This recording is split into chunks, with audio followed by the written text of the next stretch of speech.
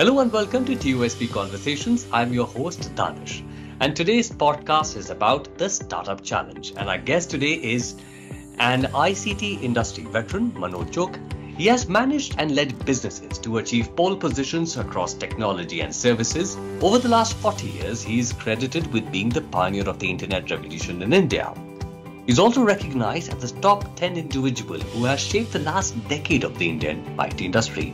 He's also the distinguished alumni of IIT Kharagpur. Manoj, welcome to TOSB Conversations. Thank you very much, Danish, and it's my great honor and my great pleasure to talk to you today. Hi. Uh, before I started this conversation, I was just going through the internet, finding out where India stands in this entire ecosystem. And one number which stands up uh, it's a huge world. We are at amongst the top three largest startup ecosystem in the world, and and it says that we will be witnessing year-on-year growth. Uh, could be 12%, could be 15%. The numbers can vary, but at this stage now, um, you know, what is the current scenario of the startups in India, and how far have we come, say, for the last couple of years, if you look at it? Well, you know, Danish, if I were to kind of go back eight years, uh, I think we've made huge strides uh, in terms of our entire ecosystem. And I must congratulate uh, each and every entrepreneur who's kind of raised his hand uh, and made uh, a success of what they are doing. Uh, and many will be incredibly successful going forward in the future as well. if you just look at the total valuation today of our startups, it is at a whopping $450 billion. And just look at unicorns, uh, you know, startups with a market cap of a billion dollars. Believe it or not, we've crossed the 100 mark, uh, you know, earlier this year.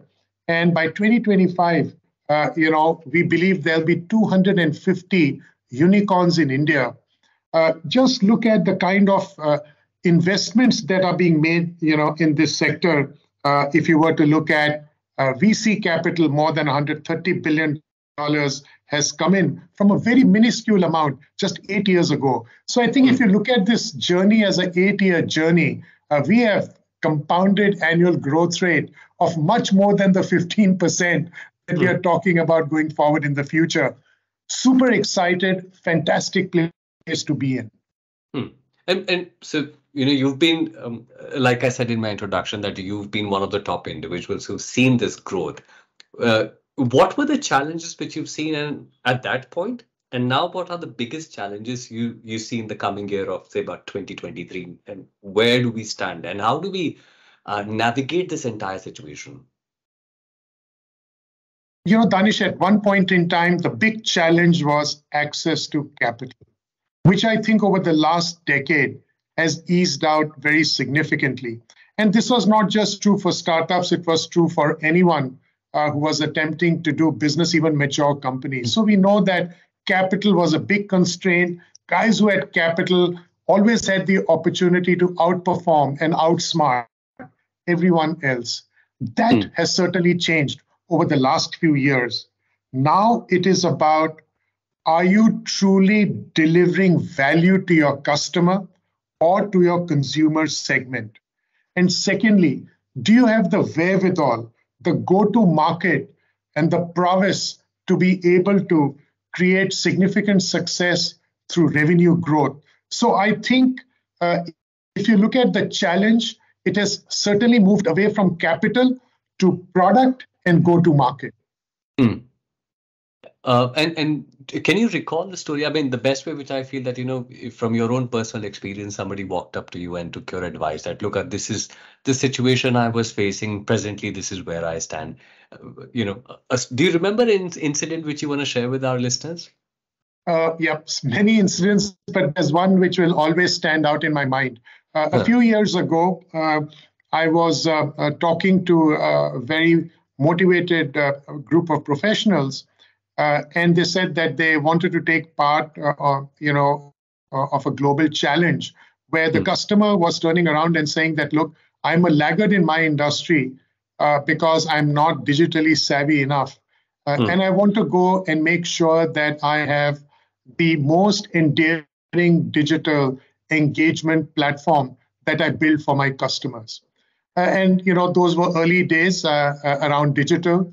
and hmm. obviously, uh, you know, the digital natives were doing a much better job uh, than brick and mortar incumbents, if you will. This was a brick and mortar incumbent who was being challenged by, you know, the digital innovators. Hmm. Um, so, uh, you know, these young uh, entrepreneurs, uh, many of them, uh, hmm. teamed up and said, okay, let's go after this challenge. Looks very exciting. you know, there is a big a prize to be won at the end of this. Uh, and uh, many of the teams actually started studying what the existing competitors were doing, which means that they went on online uh, and you know started looking at everyone else's website. What are the kind of features? Uh, you know how they are trying to digitally engage. Uh, what are the bells and whistles and so on. Uh, and one of the young teams came to me and said, Manoj, what do you think we should be doing? And I said, look, I belong to the hybrid generation. I was mm. born in the brick and mortar world, hmm. but mm. I make my living in the digital world. Mm. Uh, so I asked them a very simple question. I said, you know what? While we may be engaging digitally, but we are actually working with physical customers, they are living human beings.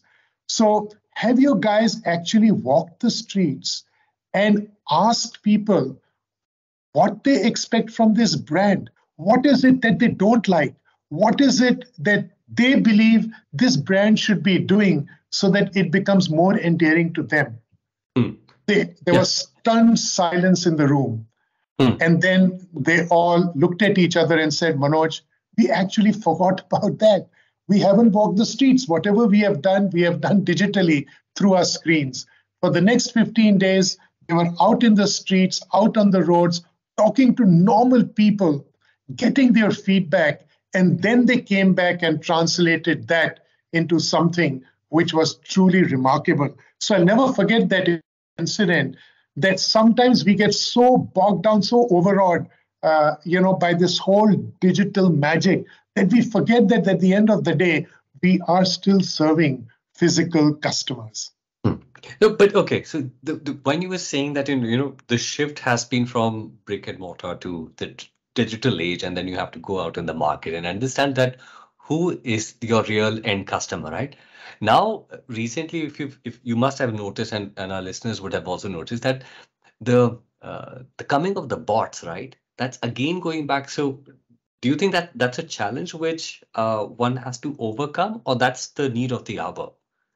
But if, you know, I, yeah. Hmm. let me see. Like for example, you log on to a website for banking, right? And right at the bottom, you will see there's a pop-up coming, and there's simple answers which you have to answer. But that human interaction is going. Is that a challenge, or is that the way I'm looking at it? How do you see it? I think the best businesses in the world will provide an immersive experience which cuts across both physical and digital channels. It is not about one channel versus the other.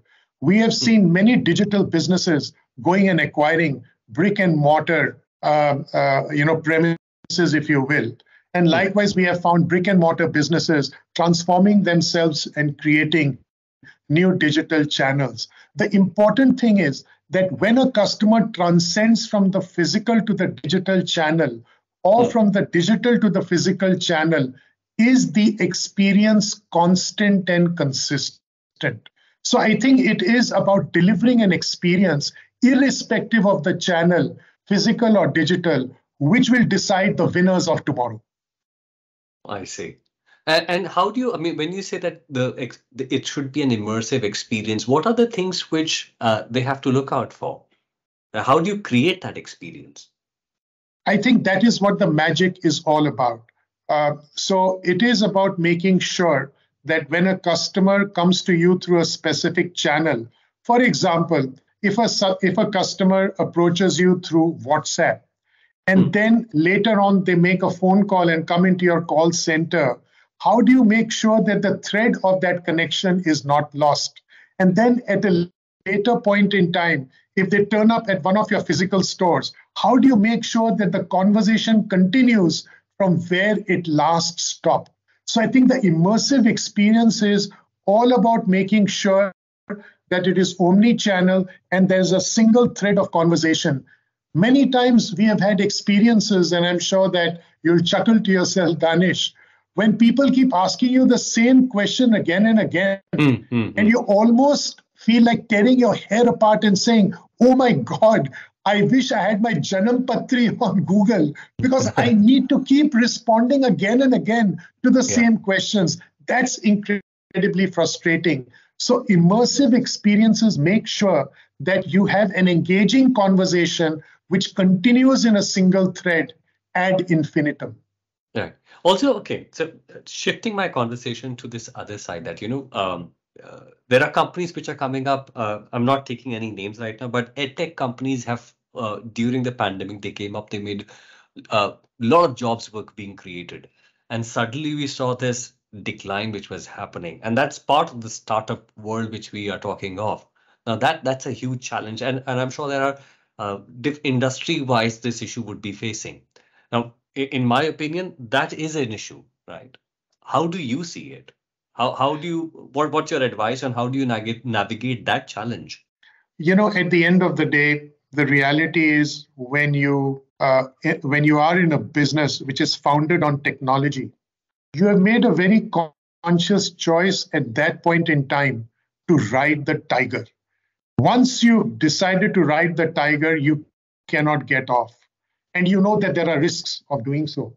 I think the most important question one has to answer to oneself is that are you truly delivering value to your stakeholders? And is that value meaningful enough? And many times, what we find is that a specific value proposition is very well accepted up to a certain point in time. And then, because of external changes, because of changes in customer behavior, because of changes in customers' demand pattern, our value proposition gets diluted. So, how do you make sure that you're ahead of the curve? And then, how do you make that transition? Understanding the inflection points and riding those inflection points becomes very critical when you're in a business which is founded on technology. And businesses will wax and wane and quicker so, you know, particularly if they are powered by digital. So this is something we need to accept and we need to be incredibly agile so that we can ride and succeed in the next wave. So if our business was purely digital at one point in time, recognizing mm. That because of external changes, it's going to be hybrid and no longer just digital, and therefore requires us to create a business model, whether directly or through partnerships or through an ecosystem, so that we hmm. can ride both the digital and physical worlds. That is what the future is going to be. Yeah. And how do you see, you know, in this entire the startup challenge which is happening, right? And then suddenly we see this uh, coming of metaverse, right? How do you see that part right? And and there are a lot of businesses say that okay this is the next big thing which is going to happen be it in retail uh, be it in your shopping experiences.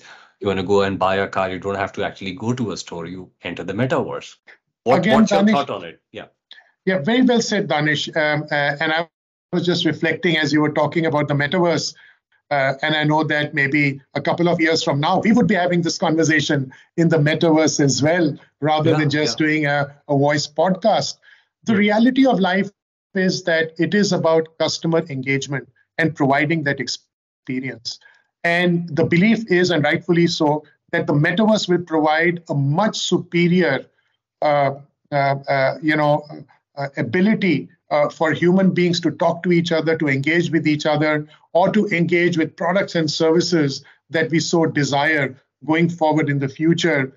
Uh, so, in the future, Danish, it may not be you and I conversing, it would be mm. your avatar and my avatar in the metaverse having this conversation. And that mm. is what reality is going to be. I'm very excited by the opportunities uh, that metaverse is going to throw up. Uh, I think it's going to help ease a lot of hazardous jobs which people have to do today uh, just because of the greater meaning and support and help that they would be able to provide, whether it is in terms of training and skilling of human beings, whether it is in terms of testing products. In the future, products will first be designed in the metaverse. So you could test them in very tough conditions before doing the prototypes and before designing those products. Uh, and you spoke about a wonderful uh, you know, example on retail. So technology is going to help us engage more meaningfully in a more realistic fashion so that our experiences are as near real as possible. And I'm very excited by the opportunity. Hmm. Uh, okay, uh, you know, you've been uh, talking about customer engagement, meaningful um, uh, contribution, adding value. Uh, what are the few things which one needs to keep in mind when you're thinking of all these three, four things? You if know, just most... yeah, yeah. Let me say that it boils down to it boils down to what? You know, at the end of the day, it boils down to where we began this conversation: driving value, delivering outcomes being differentiated enough to be recognized by communities and customers. So, at one end, it is about the product, its value proposition. Is it fulfilling a genuine need? Importantly, does the startup have a larger purpose than just creating wealth? I think these are questions which are very important to answer.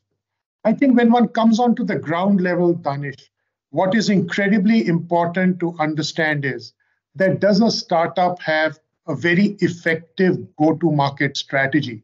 Now you might say, Manoj, you're coming from 50,000 feet, you know, you're coming bump, you know, zero feet on the ground, because that is where the rubber meets the road. So I think future success is going to be determined not, not just by the product and what it delivers, but also the ability of the organization to effectively go to market. And I think that is what, what is going to differentiate the winners from the losers. Hmm. Uh, my final question to you um, How do you see diversity in, in the startup world, right? I mean, uh, men, women, LGBTQ, right? Where does this fit in? At the end of the day, organizations will hire the best people. Uh, that is where we are going to file the water leveling. It is not going to be about setting quotas uh, and so on and so forth. This is not a political system. It is about delivering value to customers. And I think that diverse points of view are incredibly important because at the end of the day, you are serving diverse communities. So I think automatically, uh, and not just structurally, organizations will become much more inclusive going forward in the future because at the end of the day, they have to meet the demands of a very diverse world. So it's not going to be about going and setting targeted hiring. It is going to be about how do I best serve communities? And therefore, if I'm not inclusive, I will not be able to do a superior job. Right, Manoj, on that note, thank you very much for uh, taking our uh, guest and, and all our listeners to see what the entire challenge is and how do you navigate this thing. So thank you very much for being part of the TOSB conversations. Thank you very much, Danish, for having me, and I've enjoyed this conversation.